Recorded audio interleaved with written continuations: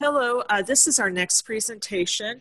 It is collaborating across workflows, managing creative assets from Legacy Works, and this will be presented by Patrice Andre Prud'homme and Jennifer Hunt Johnson. Patrice is the head of digital collections, and Jennifer is the conservator and preservation specialist, both from Illinois State University. And I will pass it off to them. Well, hello everyone. Um, so Jen and I will be presenting on collaborating across workflows, managing creative assets from legacy works. So now let's, uh, let's give you an overview of our presentation. Uh, we will start on who we are in the sense that this presentation focuses on practical professional development in all stages of digital asset management. Um, in that it is to manage legacy projects more efficiently through sustainable solutions where digital assets then become the primary point of access for the public. Then we will look into challenges in part uh, personnel, resources, and space. Then what do we mean by collaboration? Then we will look at workflow case scenarios. How do we make sense of this as a team in addressing the digital asset management stages? Uh, looking at a crowdsourced transcription example, and another example is in-house project with the objective to teach those, um, for a special collection, sorry, special collections to teach those resources. And then we will conclude with learning outcomes. Just to give you a brief introduction about who we are, um, Patrice and I represent Milner Library at Illinois State University. Um, we have uh, an enrollment of about 20,000 students 86% uh, are undergraduates.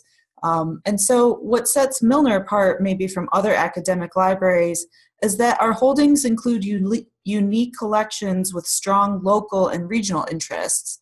For example, um, a couple, just to name a couple, our Kenway Studio collection uh, is a group of photographic materials that were produced locally that have both regional and national significance, including some subjects such as uh, State Farm and Standard Oil.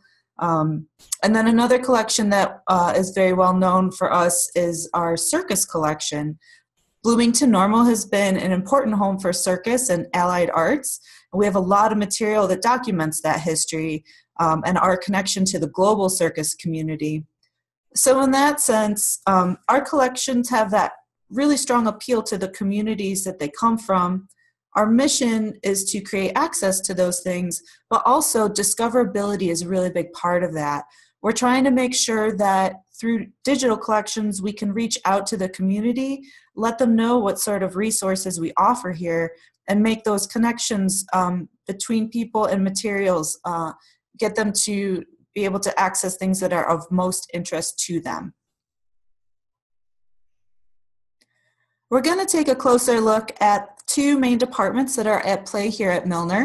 Um, we both represent two very small shops, uh, mine being preservation and conservation, uh, and Patrice representing digital collections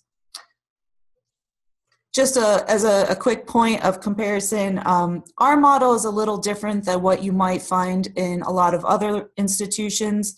Um, digital collections here is very independent from preservation. We historically have operated as isolated units, um, but as you'll see in this presentation, we've started to find commonality. Um, you know, as both of our departments reach across library units, we've also formed relationships across campus and the community um, with a lot of shared interaction. So some of the main content providers that we both service are special collections, university archives, and then we also have a number of peripheral entities. Um, for example, we've got collections that belong to donors or other faculty, um, and they may or may not have a specific home within the library, yet we service them either through digital collections or also preservation does uh, do work for those things as well. So when we take a closer look at the work um, that goes on in each of our departments, we find that our challenges are not unique. Uh, I'm sure a lot of the issues that we're going to talk about here are familiar issues to all of you. Um, I'm just going to go through a list of a few of those things.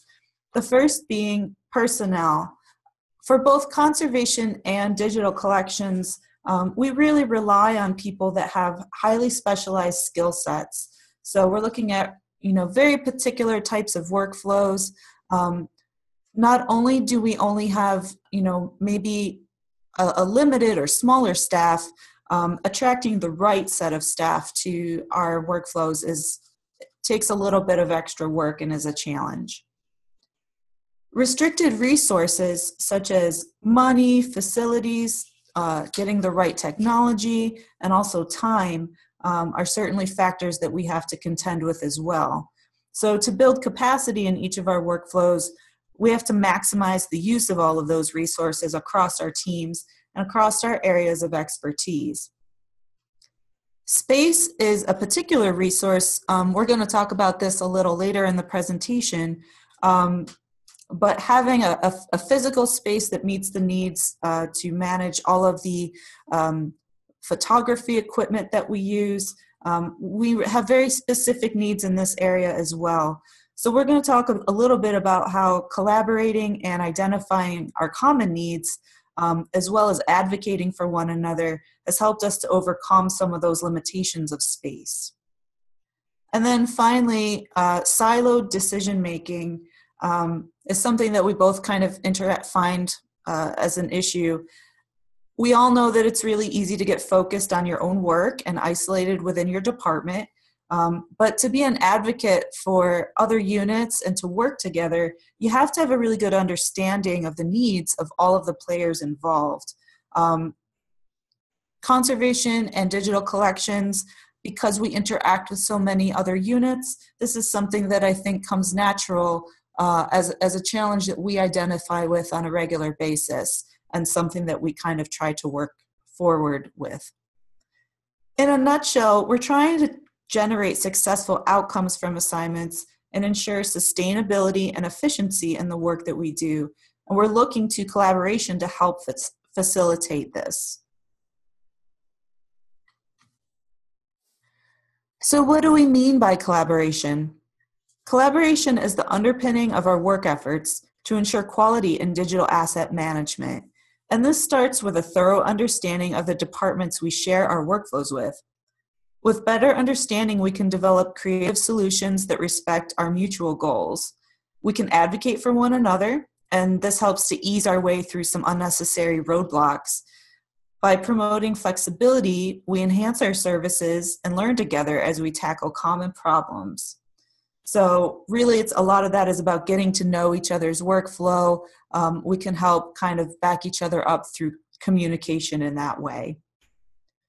For our two units, we've identified access, discoverability, and preservation of collection materials uh, as shared goals that we're each actively working towards.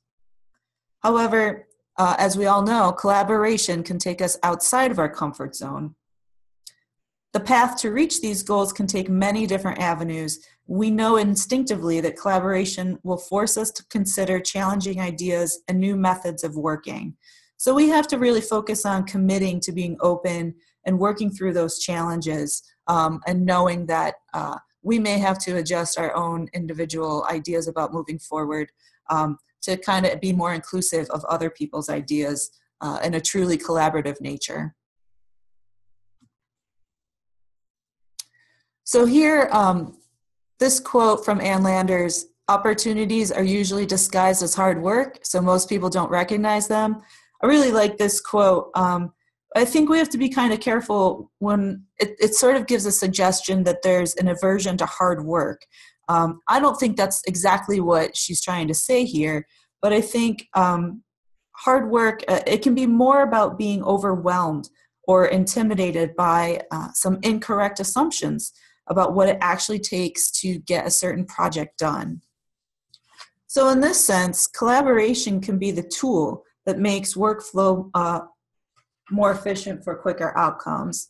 Um, we can't always predict the outcome of any given project, um, but we can try to allay the fears that the work will not be worthwhile.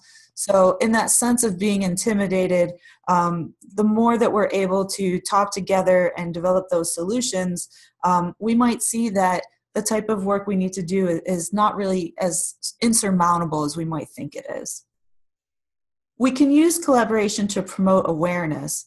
By understanding relationships between services that we offer, we can better communicate those solutions uh, to some of our shareholders that are unfamiliar with the details in our process. We need to communicate a consistent message to our colleagues and advocate for the right service for the project. So that's not necessarily the service that we individually provide, um, but knowing kind of where uh, each others can meet that that that need we're always putting forward the best service to meet the end goal.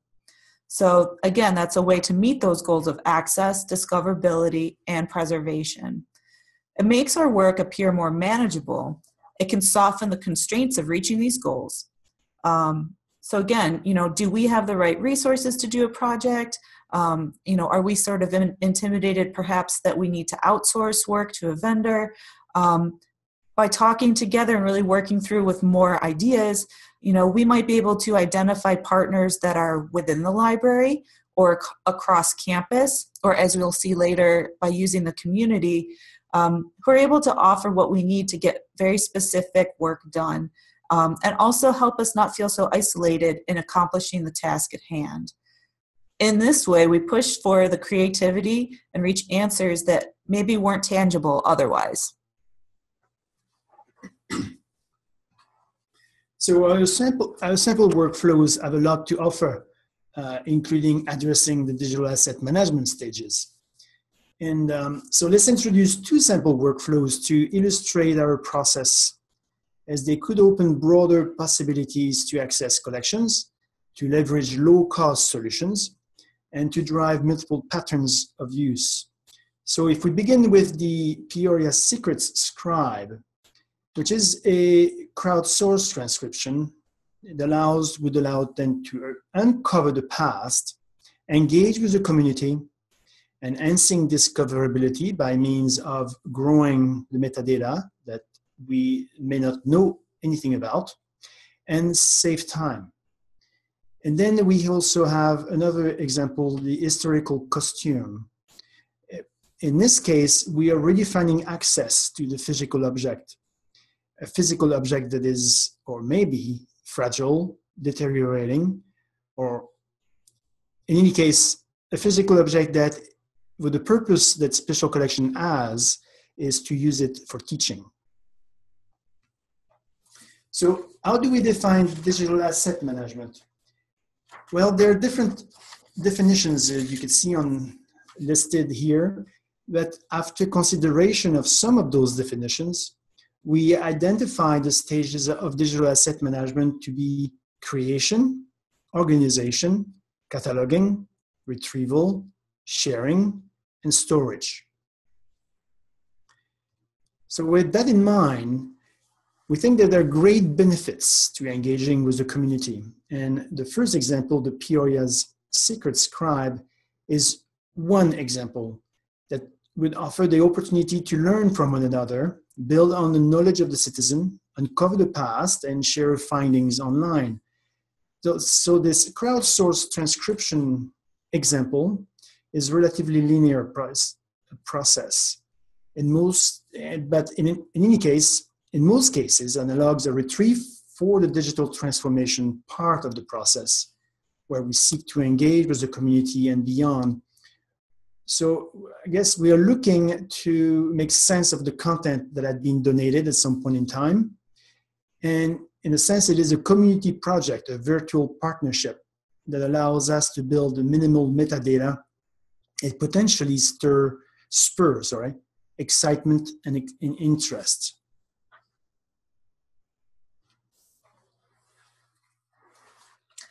The second project that um, we have worked on is uh, the historical costumes, which is um, effectively a scrapbook um, with original artwork by Charles Bianchini. Um, and in this example, um, we have kind of more of a what we consider a nonlinear example. Um, this was a piece that came first to preservation for physical treatment, um, but in the process of assessing that item, uh, it became clear that perhaps by involving digital collections, we could also meet another need of making this piece more accessible uh, in a digital way, as well as complementing physical access and meeting that goal of preservation. So we're really addressing preservation through alternative means, and we're using digital asset management to create supplemental points of access. Um, it creates more accessibility for the object and allows it to be truly digital or truly usable the poor con- condition that you see, um, you can probably get a good sense of that in this image. Uh, a lot of the paper here is extremely brittle and flaking, and the main concern was that every time it came out uh, to be used during a class, they would lose little bits of the pages. From a conservation point of view, there's very little we can do to um, make the paper itself more stable, so that's always going to be an issue. However, because the object is so popular, um, it will continue to want to have use. So by creating a digital version of the object, um, the details that need to be scrutinized for scholarship can be done through the digital version, and then the physical object becomes more like a museum piece and can be, uh, it, it will limit that physical handling um, and make it more uh, sustainable over the long term. So again, kind of that path coming through preservation, bouncing back to digital collections, where we're really kind of moving and working together um, as as more of a single unit um, by communicating with each other. But either way, promotion of this unique work becomes a really desired product of digital asset management. And by creating a digital object, um, we're also going to enhance discoverability. So, more people, hopefully, in our community will be aware that we have this. Um, we may see an increase in use of the object um, while still maintaining preservation. So, we're kind of interested to see how this uh, becomes used in future once we do complete the digital work for this project. So, let's look at the, the workflow as the big picture. As stated earlier, most content that Jen and I get comes from special collections and archives. It may also come from donors or emeritus professors, for example. One critical part of the project management process is to ensure that we cover copyright, particularly for the digital transformation of the materials and online publishing, for example. So the Peoria Secret Scribe is, is a good example for that.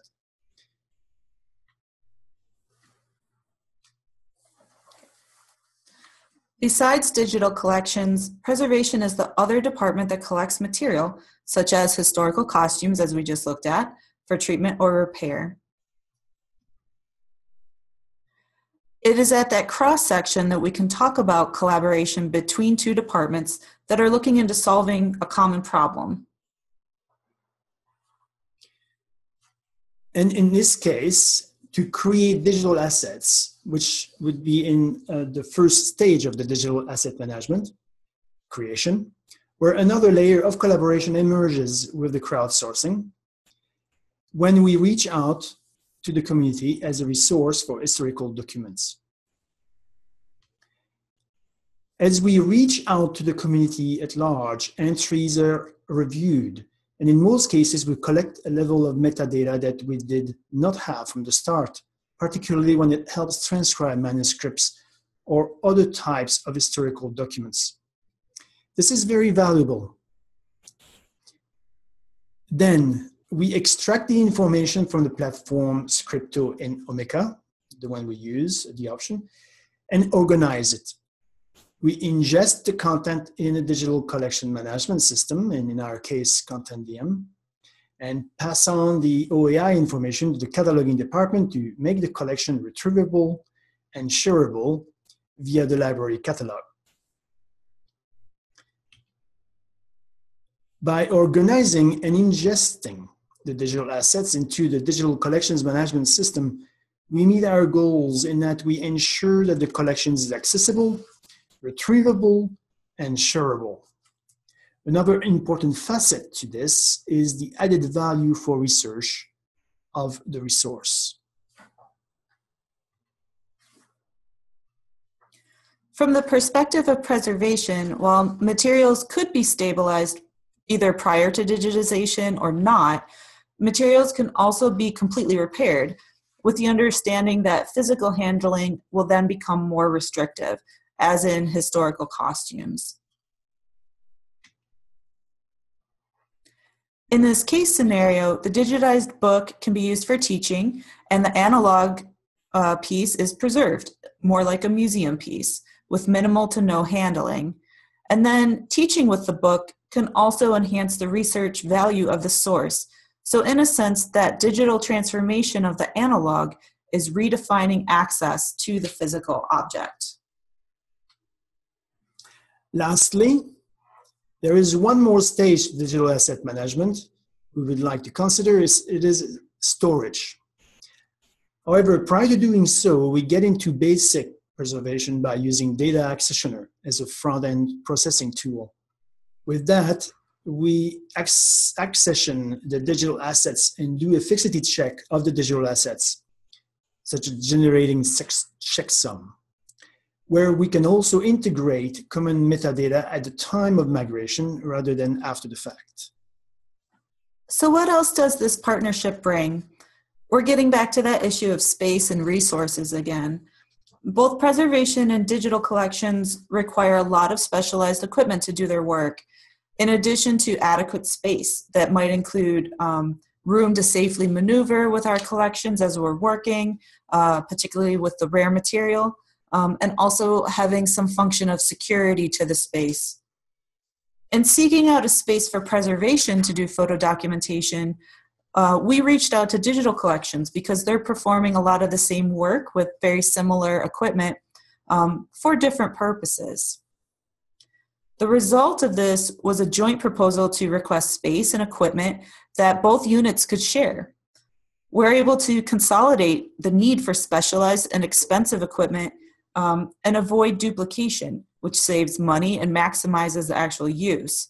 So, for instance, conservation is really doing doc, photo documentation um, maybe once a month or something like that.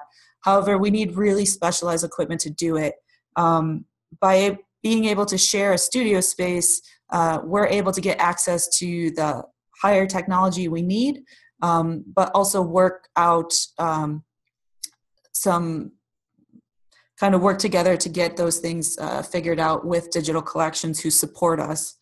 Um, by sharing, uh, it's a really good option because not only are we sharing physical things, but um, we're also sharing knowledge. So, looking at how to set up projects um, and preservation can kind of weigh in as digital collections uses equipment to make sure we're all on the same page with how to safely deal uh, with our material. To summarize, we look to identify projects with a new eye uh, preservation reviews can uncover candidates for digitization that are good selections based on the type of condition that we might see.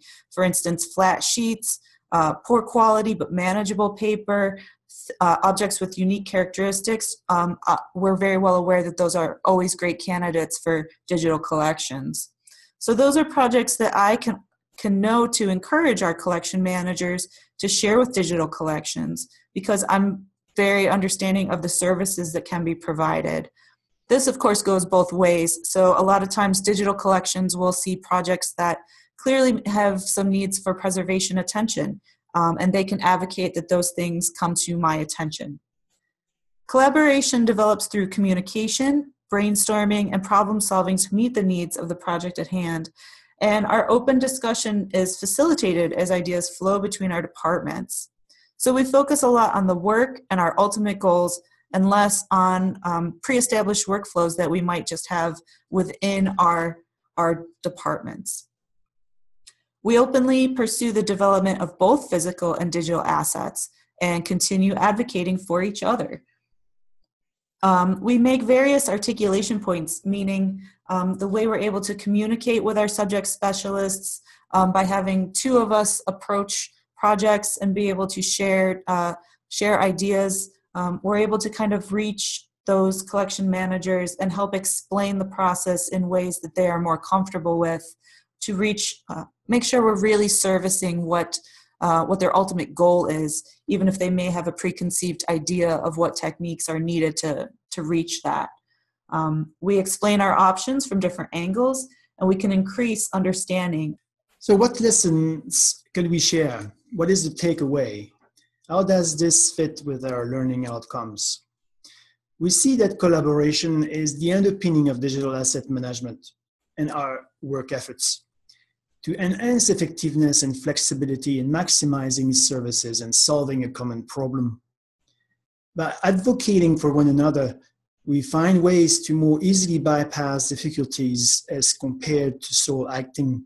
We inform each other. We also keep track of our work by generating documentation across a team, thus enhancing interconnectedness. In light of the apparent complexity of these workflows, we are working to streamline them and make better sense of our practical professional development in all stages of digital asset management. Our focus is to meet expectations, educate content providers about what each process is about, and why collaboration is a must for good asset management.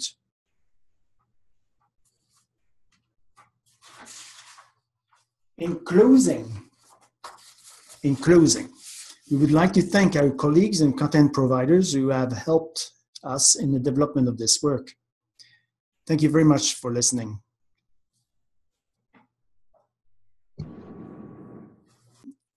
Please ask us questions and we will answer them in our capacity. Well, thank you for that great presentation. Uh, we are now ready for our Q&A session. So our first question is, someone wants to know why you use Dublin Core rather than VRA Core. So um, although the, the, the, when I first be, began this this work, uh, the two collections, the first two collections were mapped uh, using VRA Core, uh, those two collections were focusing on art primarily.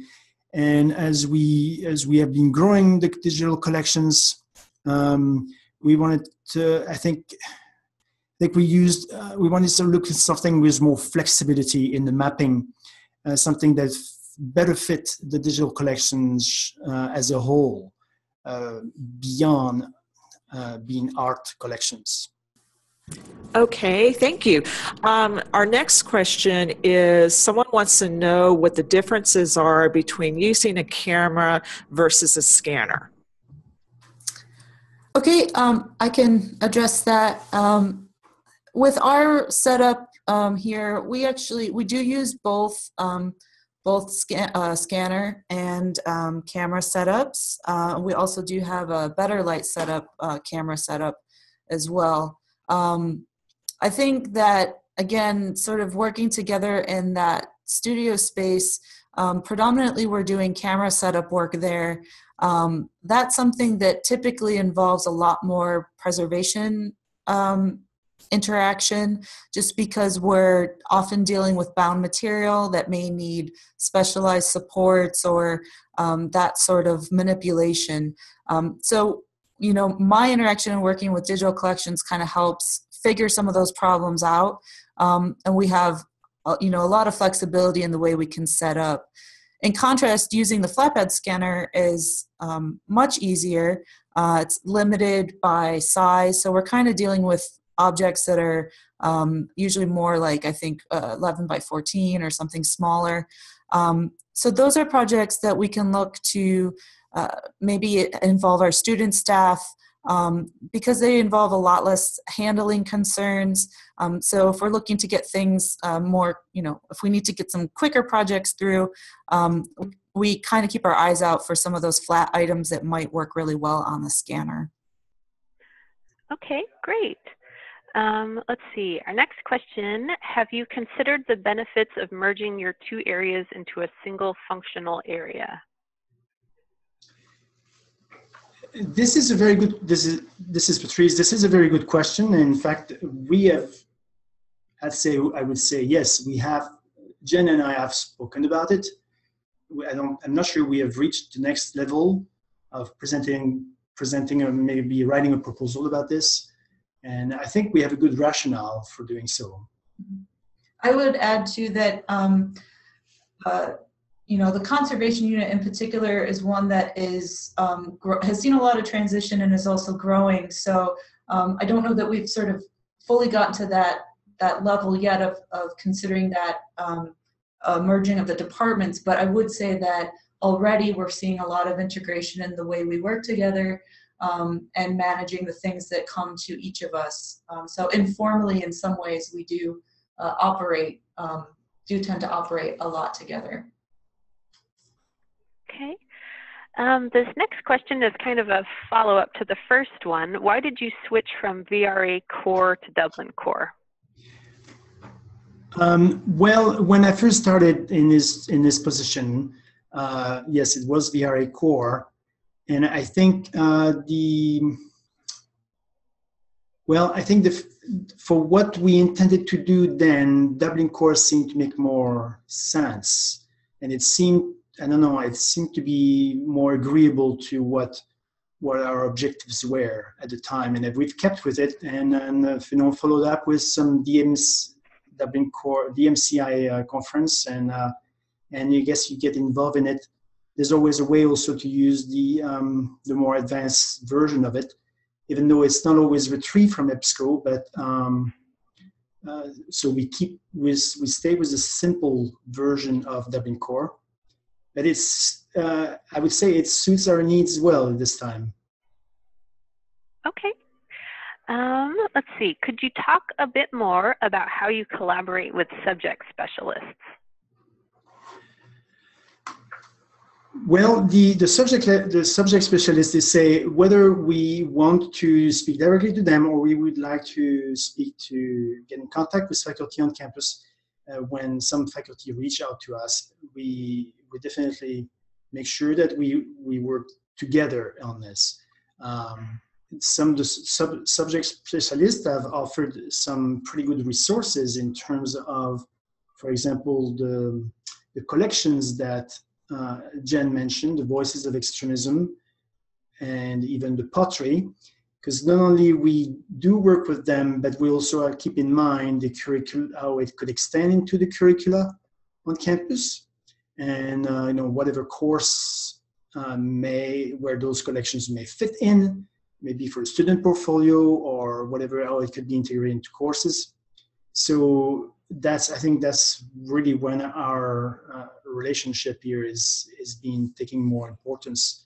But definitely at the start, in terms of the prospection, uh, we I think collabor- that collaboration at that level to me is I think is is very important. So we end up having something as a whole as a library. Uh, different units, different areas, and more cohesive. All right. Um, all right, our next question. Um, what tool did you use for the crowdsourcing? And could you also maybe talk a little bit about how you um, promote awareness of the crowdsourcing opportunity? So the tool that is used for crowdsourcing is Scripto, but it is actually, so it's an open source platform and is in this case it is done through Omeka. I think there are other ways to use Scripto through DSpace, I believe, and I think there's another one I can't think of it now. But um, so once it's digitized, we just ingest it in there, but we need to be in the system. It needs to be promoted. It has been promoted by means of our public relation librarian. So, uh, in, and this, of course, there's collaboration with, as noted earlier, with special collections and archives, where the, the, these content providers provide the more specific information about those collections. I think they're the ones who know the most about it, about those collections rather. And um, I think it's also supported by, say, I know for sure that for special collections on archives, they do promote on their own. And these collections, um, when I, I, have a chance, uh, then I, um, I also promote those at some venue. Uh, and for example, this webinar is also another way for us to promote this to a greater audience. All right. Um, it looks like we just have a couple more questions here. Um, was all the work for both of these projects done in-house or was anything outsourced? At this point in time, um, you know, there, it's um, it's actually it doesn't seem to take that much time, but actually it does in sense because there's also includes the review part before you know extending this to the shareable and the retrievable information. Uh, all this was done actually in house. Um, some of the content has come to us at different times uh, when it seemed to be more important than other, and we accommodated our workflow. Um, I guess we have more than one workflow, I suppose. uh, have other workflows than the one I have with Jen, but we did accommodate. I did accommodate the workflows to to have those posted um, in a timely fashion. But in house, yes. Okay. Um, and it looks like um, the last question we've got at this point is what tool are you using for digital preservation? Well, data accessioner is definitely the one that we use in is um, as we uh, as as I have say because uh, this actually as I have been presented at different workshops through Digital POWRR, uh, P O W R R. It was by a grant from 2011 2014, uh, by Northern Illinois University. Um, we use data accessioner kind of a basic to start really the basic digital preservation then the information after that, the data is going to be is sent to a cloud. Um, that's I would say that's uh, relatively decent at this point in time. I think, considering you know the resources, but at least then we are able that that means also in terms of the storage to allow more than one copy, uh, geographically dispersed. So at least we're eating a couple of things here. Definitely the accessioning with the fixity check, the checksum, and uh, we're producing the, um, the submission information package and then geographically dispersed um, um, storage. But we do not use anything at this point in time other than, like, for example, um, Archivematica or MetaArchive or, or uh, DuraCloud it's not yet in the docket. Um, how are you funding this project to sustain it for the long term? Um, what project are you referring to? Um, I think I think both both of the projects. Oh, oh do you mean the, both of the workflows? Um, the digitization projects, I would imagine. Oh, those are actually is basically our current workflow is based on um, library resources, I would say. Okay. Um, so it's just part of um, the kind of work calendar of the library then? Yes, that's a good way to put it. Yes. Yes. Okay.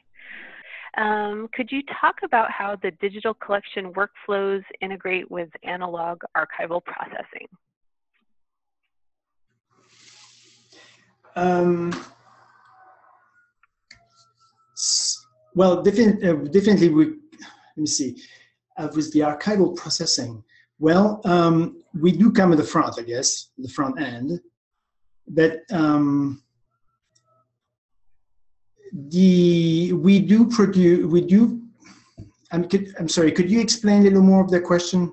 Even though we come at the end and some of the archive do want to save some online, um, I think they're wanting to know, um, you know, like if um, an item is being or a collection is being the analog collection is being processed. Okay. Is the digital workflow integrated in that analog processing in any way? Yes, this is done. Um, this is, I guess, my other work. The other the, the other workflows that I have with archives and uh, special collections and this would be more the workflow that is done, uh, not the one the historical costume, but the, somewhat similar to the crowdsourcing. Um, if any if any doubt, uh, and we want to make sure. Then Jen intervenes and makes. Sure, you know, it's, I think it's fair that she looks at a. She has a quick look at how we can handle the materials from archives um, or special collections. But to send it to archival, um, that would align with some of the digital preservation approach.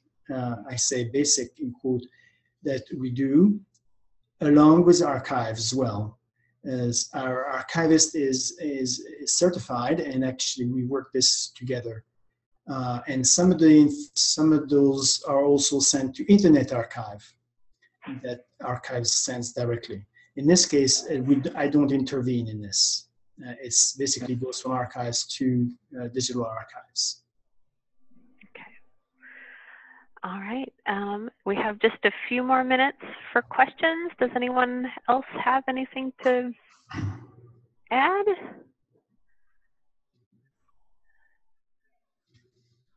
Uh, all right. It looks like that might be Oh, here's one more.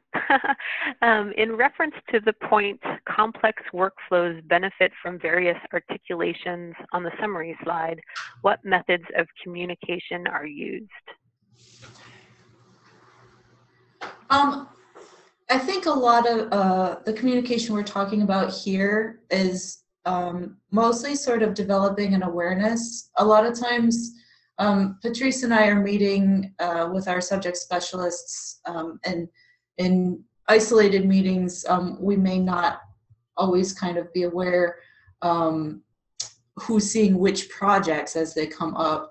But I think what's uh, important as far as how we're articulating things um, you know, I certainly come at uh, all of these projects from a preservation standpoint, and Patrice has a lot of other um, context to add in terms of, you know, providing access. Um, but I think in having, continuing to have conversations with each other, um, we're kind of shaping similar ideas. So should I have a con, um, a meeting with special collections, for instance, um, in the back of my mind, I'm always thinking about uh, and kind of have my eyes open to what might be, um, you know, a good project for Patrice, but how can I explain that to special collections um, in a way that sort of, uh, you know, talks about preservation, but also, you know, have we thought about how the piece is being used? And I think that is something that I try to articulate in most conversations.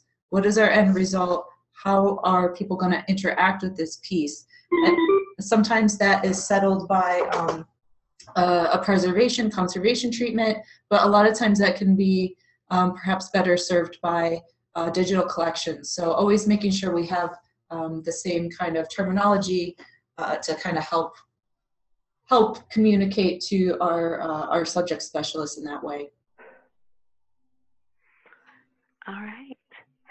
All right, um, so it looks like we've got maybe just a few seconds left for any last questions. All right, well, um, if anyone has any additional questions, um, those can be sent to the presenters by email. Um, otherwise, um, thanks for everyone um, for being here with us. Um, our, we're going to take a 10 minute intermission now while we get set up for the next presentation, and that will um, get started at 2.55. Thanks, everybody.